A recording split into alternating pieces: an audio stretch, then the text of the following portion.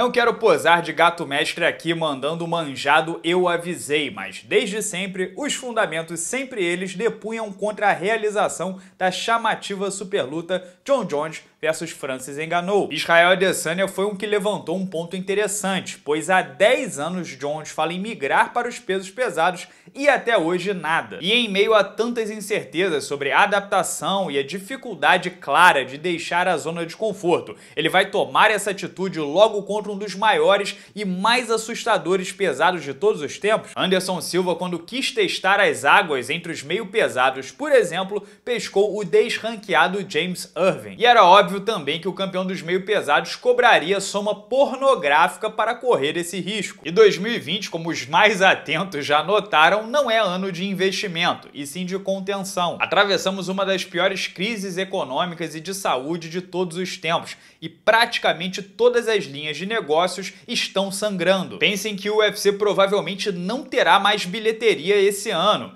Ah, Renato, mas bilheteria não é a maior fonte de receita dos caras. Sim, é verdade, mas se for 10, 15% que seja dos quase 1 bilhão de dólares que eles faturaram em 2019, estamos falando de 100, 150 milhões de dólares sendo deixados na mesa é muita coisa. Sem contar todos os eventos cancelados, reembolsos a fãs que já tinham comprado ingressos, arenas que já estavam alugadas e todo o investimento em saúde, exames médicos, infraestrutura e logística para mandar shows numa ilha remota e manter as luzes acesas. O UFC não demitiu ninguém ainda e sequer cogitou reduzir bolsas, bônus nem nada do tipo. Mas desembolsar quantia exorbitante por algo que não é retorno garantido é movimento que eles não farão num momento como esse. Digo isso porque Jones versus Enganou é um casamento dos sonhos para o fã hardcore, mas qual narrativa vai atrair o fã médio para que possa vender ao norte de 1, 2 milhões de pacotes pay-per-views? Será que um eventual acordo com uma TV camaronesa ou africana interessada em Enganou justificaria o investimento? Será que John Jones tem toda essa conexão com o público americano? Nem em seus melhores momentos contra um rival notório, um atleta olímpico americano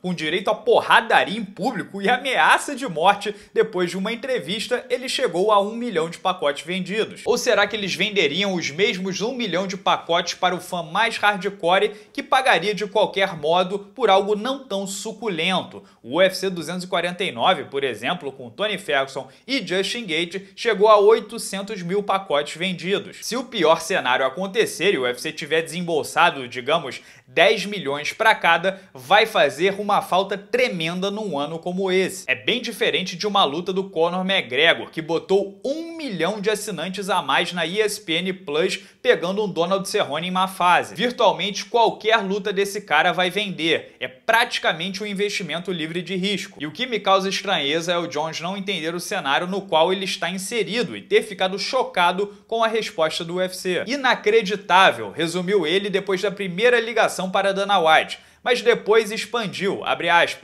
Antes mesmo de discutir o número, o UFC não estava disposto a pagar mais pela superluta, pela minha ida ao peso pesado. Disseram que eu possivelmente ganharia mais em vendas de pay-per-view. Talvez quando eles estiverem prontos para fazermos negócios, eu volte. Talvez veja vocês em um ano ou dois. O que o Ultimate disse basicamente foi: campeão, não tem mais grana, mas se tiver na pilha, sejamos sócios. Você leva parte do pay-per-view mesmo sem ser o campeão da categoria em que você vai lutar. Mas não, o cara não quis assumir parte do risco. E para muitos ainda saiu com a imagem de garoto mimado, sem contato com a realidade que assola o planeta no momento. O mais bizarro é que enganou, ao invés de continuar botando pilha enfiando a faca na vaidade do Jones, não, repetiu o discurso. Abre aspas. Na minha opinião, o UFC não está disposto a fazer essa luta com o Jones acontecer pelo que ela vale. E olha que o predador africano seria o maior beneficiado. Com a grana do pay-per-view, essa seria a sua maior bolsa contra o adversário mais popular e ainda sendo favorito. Claro, não significa que a luta tá morta e enterrada. Jones e Enganou também jogaram pra galera. De repente, a reação do público força o UFC a investir, a agir. Mas pela resposta seca do Dana White ontem, não vai rolar mesmo, abre aspas